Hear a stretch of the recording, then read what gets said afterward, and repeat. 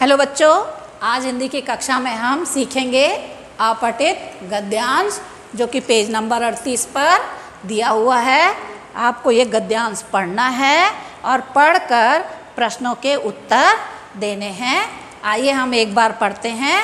राम और श्याम एक दिन जंगल में गए। जंगल बहुत बड़ा था। वे चलते चलते थक गए।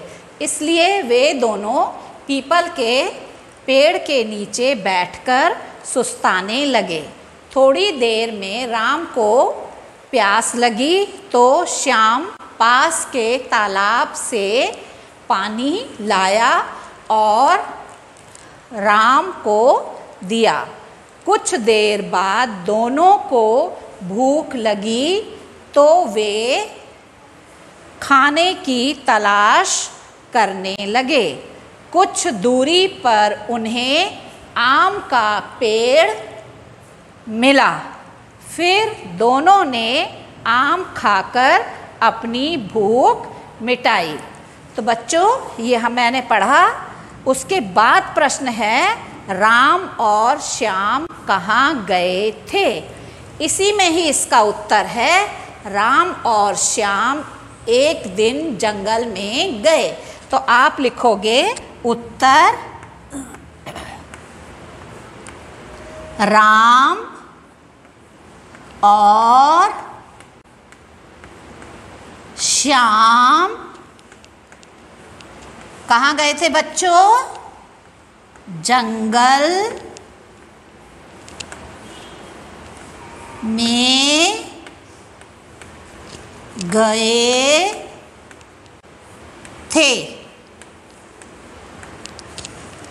फिर है, श्याम, कहाँ से पानी लेकर आया? अब इसी में ढूंढना है आपको। तो देखो यहाँ कहाँ लिखा है, श्याम पास के तालाब से पानी लाया। तो आप लिखोगे, श्याम, कहाँ से पानी लाया था? कहाँ से?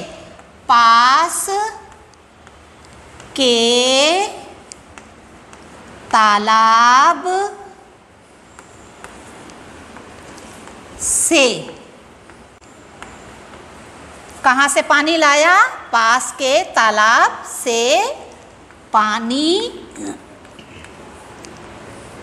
लेकर आया।